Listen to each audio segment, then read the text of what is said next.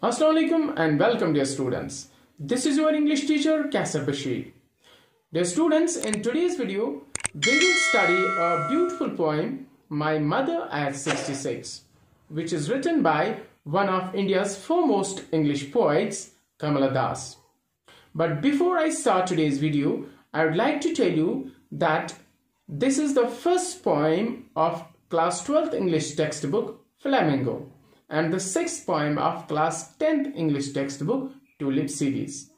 Let's get started.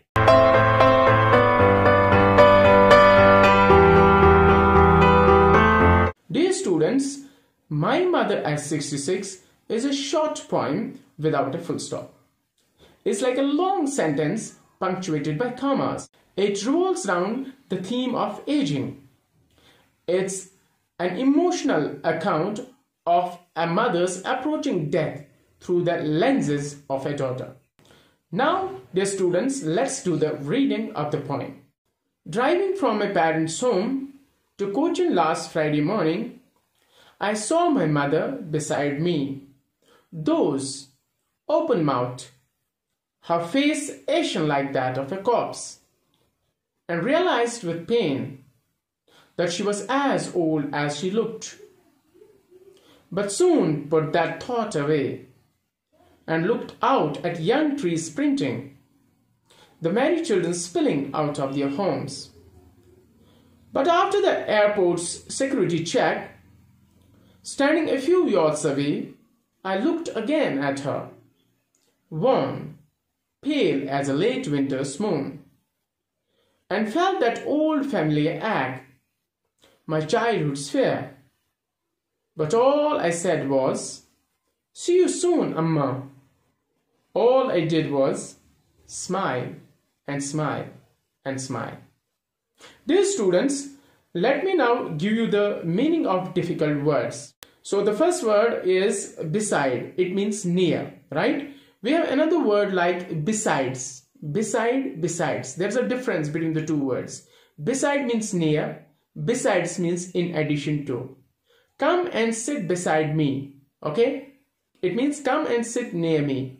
Another word is uh, besides principal there are 25 teachers in the school okay? So in this sentence it means in addition to principal there are 25 staff members in the school right? Uh, dear students we have another word that is those. It means a short light sleep okay uh, we have another word that is corpse. It means a dead body. Okay. Pain means ache. Put away means to discard, to renounce. Sprinting means running past. Okay. Spilling out means rushing out or moving out. Check means frisking. Uh, there's another word with the same spelling. Uh, it, uh, for example, check, C-H-E-C-K, check uh, the meaning of that word is to stop okay? And then there is another word wan it means pale okay? And then there is another word ache. It means pain. Dear students let me now interpret the poem to you. Driving from my parents home to Cochin last Friday morning I saw my mother beside me those open mouthed her face ashen like that of a corpse. The students in these lines the speaker of the poem or the poet tells us that she drove from her parents' home to Cochin Airport last Friday morning, and her mother was sitting near her in a vehicle. She was sleeping. Her mouth was uh, wide open.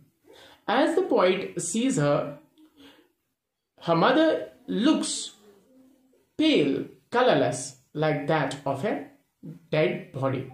This is why the poet has compared her mother's face to that of a corpse.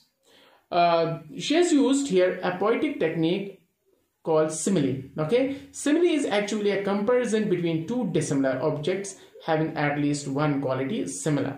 As you can see, the poet compares her mother's face to that of a corpse.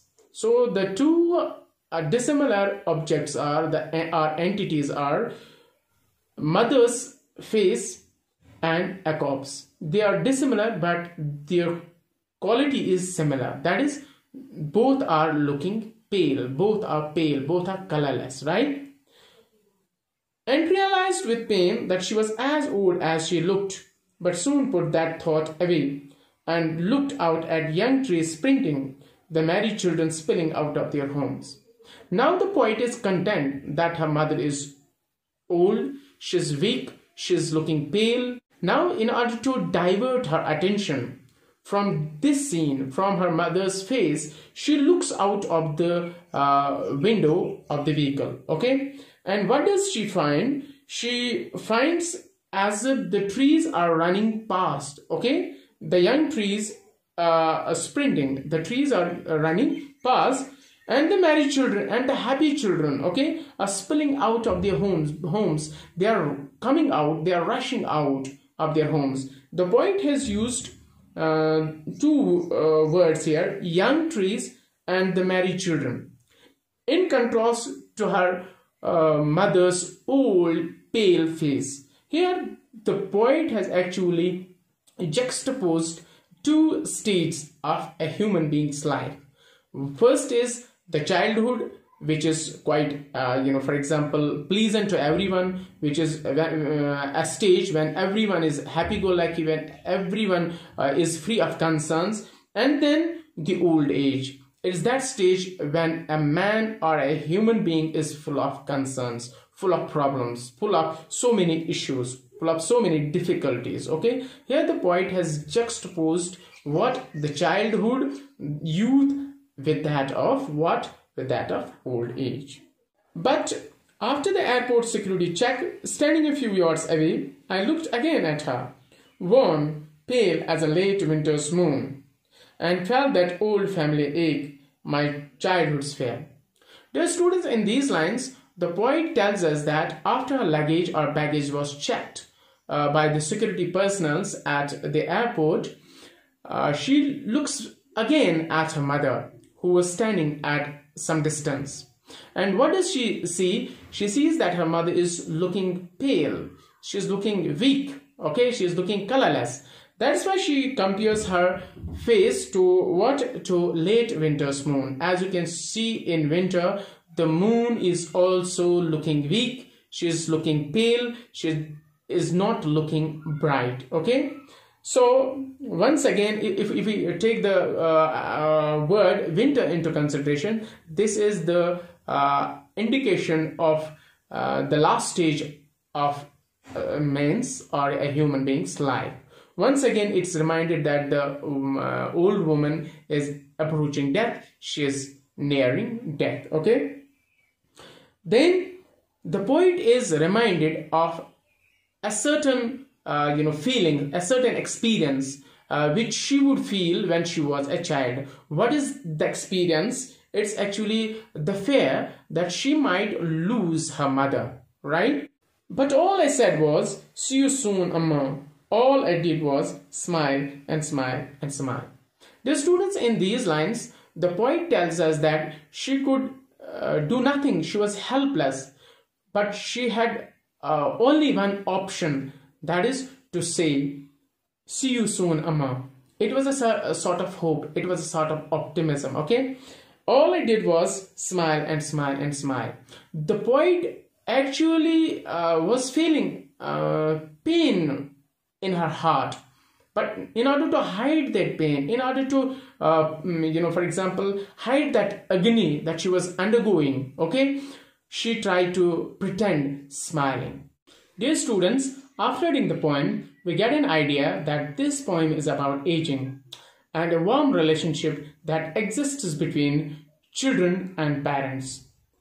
It also gives us an idea that parents are precious gifts from God, so children should take due care of their parents because it is their responsibility, right? So, with this, we come to the end of today's lecture. Stay blessed. Thank you.